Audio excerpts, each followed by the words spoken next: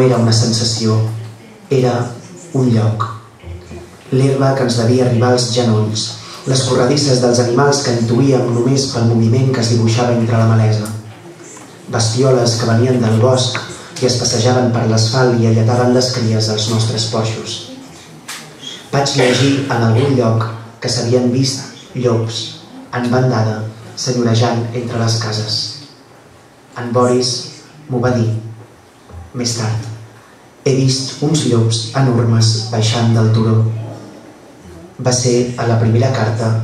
la.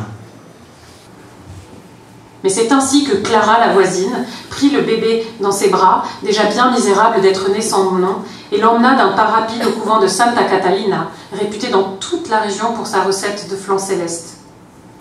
Devant la porte, elle toqua, le bébé emmailloté dans un drap blanc comme un énorme saucisson. Ma voisine n'en veut pas, elle n'a pas d'argent, son mari est en mer et son seul fils est tonto.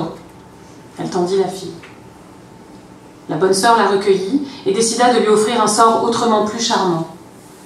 En ce lendemain d'épiphanie, elle prénomma le poupon Victoria.